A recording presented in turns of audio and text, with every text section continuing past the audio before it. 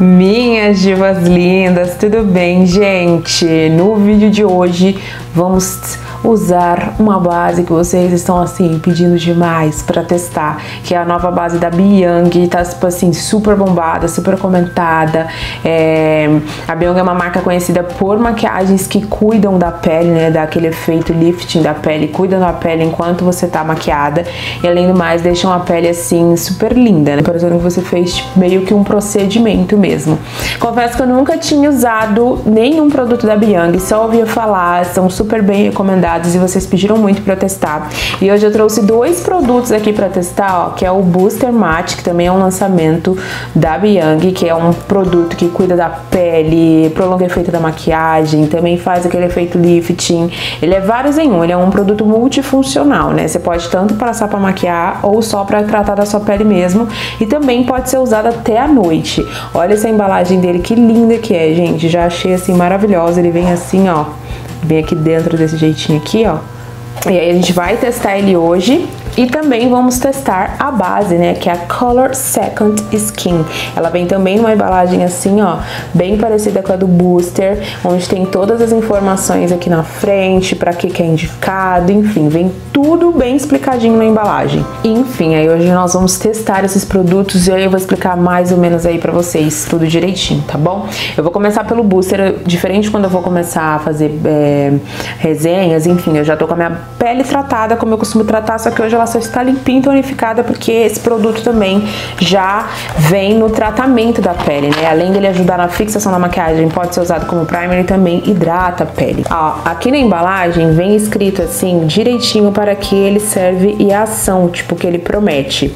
É, promete efeito lifting, suavização das linhas finas, é, regular a textura da pele, disfarçar os polos, prolongar make, é anti-idade, hidrata a pele também. E aqui também vem explicando o que ele é, ó, que ele é um sérum, acabamento mate para face, olhos e pescoço, pode ser usado diariamente, de manhã, de noite e é para todos os tipos de pele, mesmo com essa proposta mate, a gente vai ficar, ver como vai ficar na pele. Minha pele é uma pele de mista oleosa, como eu sempre falo pra vocês, então eu sempre dou preferência para esses produtos assim, que tem um acabamento um pouco mais mate, porém que também não apague muito a minha pele. Ó como que ele é a texturinha dele, gente. É uma textura bem grossinha, vocês podem ver que fica até um pouquinho aqui assim na embalagem.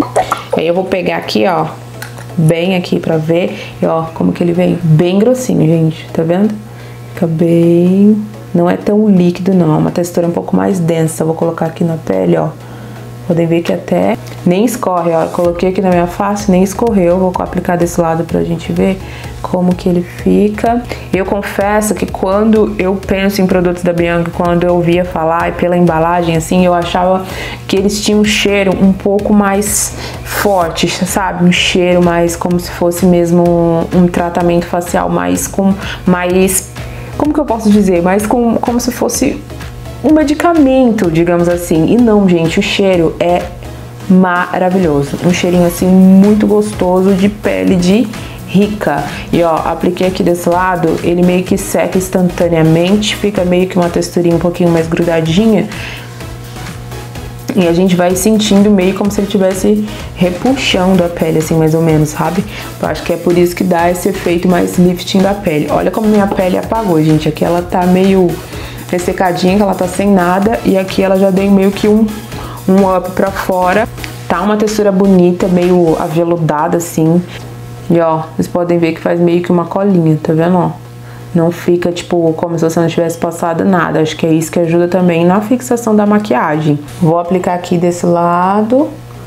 Você precisa pegar bem aqui no produto, gente. Como ele tem uma texturinha um pouquinho mais grossa, ele não vem muito, tá vendo, ó? Se você não pegar, ele nem deposita na sua pele. E esses produtos é legal você não encostar na pele, deixar ele cair mesmo pra você começar a espalhar. Começar a aplicar bem aqui, ó, nas linhas finas, onde eu tenho mais poros abertos. E ele é bem denso. Se você demorar a espalhar, acho que ele nem, nem termina de espalhar no rosteiro. Você tem que passar rapidinho. Você que tiver os poros um pouquinho mais dilatados, linhas finas, bigodinho chinês, você vai perceber a diferença muito mais.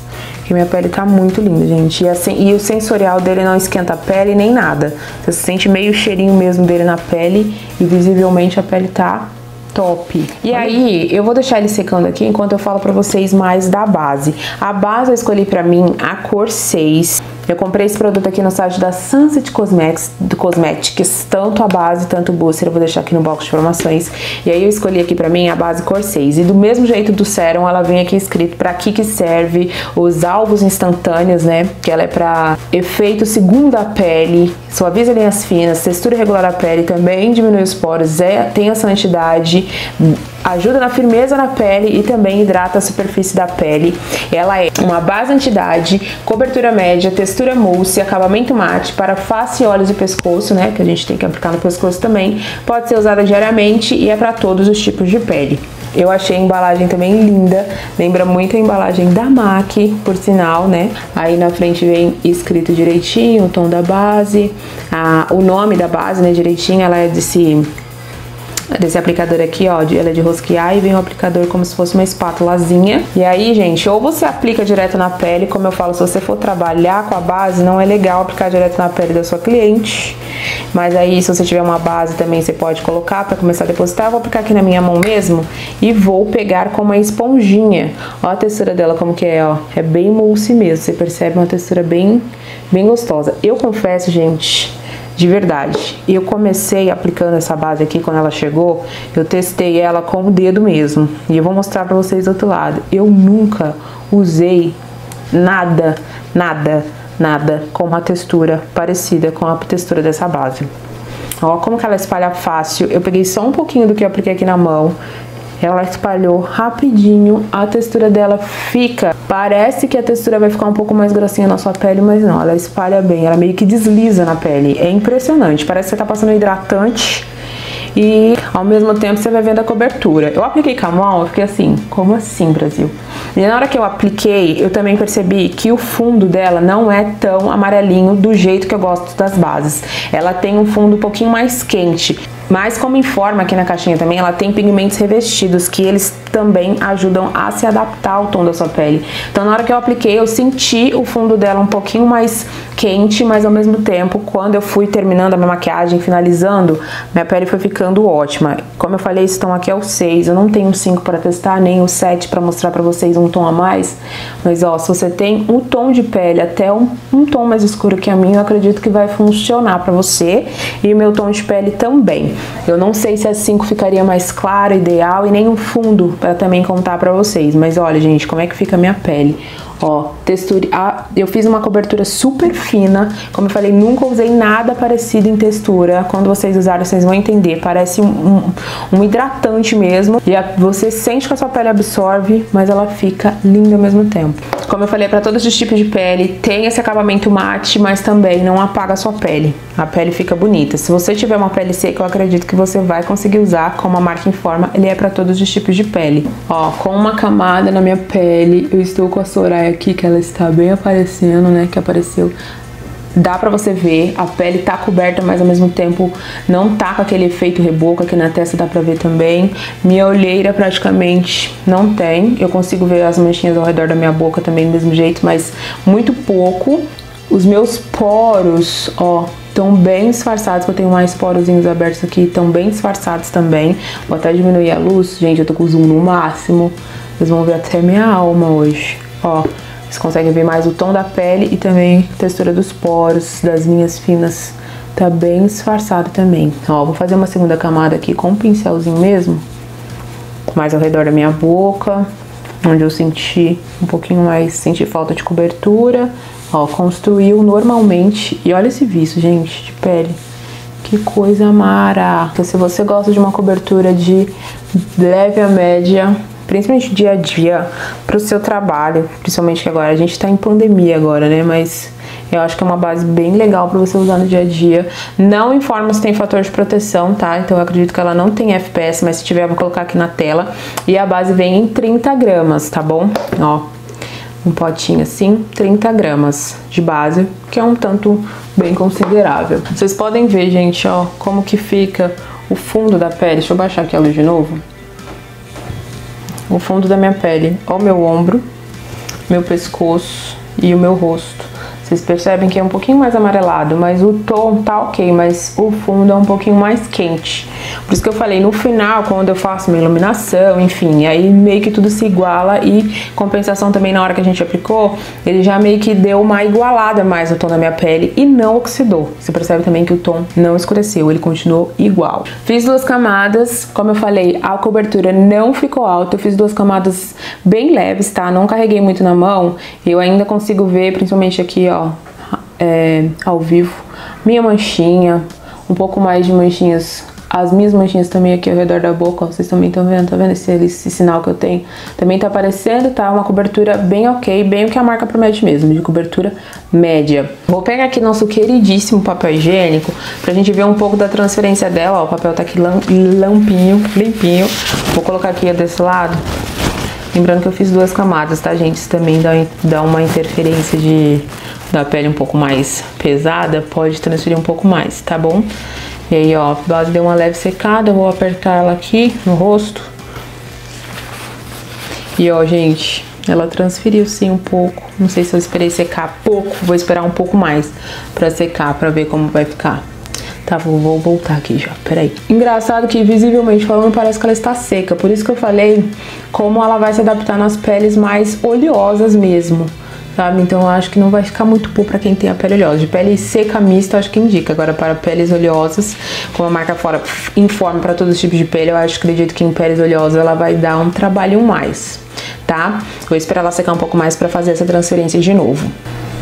Tá, vamos lá. Passamos uns minutinhos aqui, esperei ela secar um pouquinho mais. Tô com o pai de novo limpinho aqui. Vamos lá, fé no pai, amiga. Fé no pai. Vou vir aqui desse lado agora, porque eu passei com o pincel e a cobertura ficou até um pouco mais alta. Ó, vou dar uma apertadinha. Vamos ver como vai ficar. Ó, gente, agora que ela secou, não transferiu tanto, não. Tá até limpinho o papel, tá vendo? Tô vendo quase nada de base. Vamos vir desse lado de novo, o outro lado do papel, apertando aqui do lado do nariz também, ó.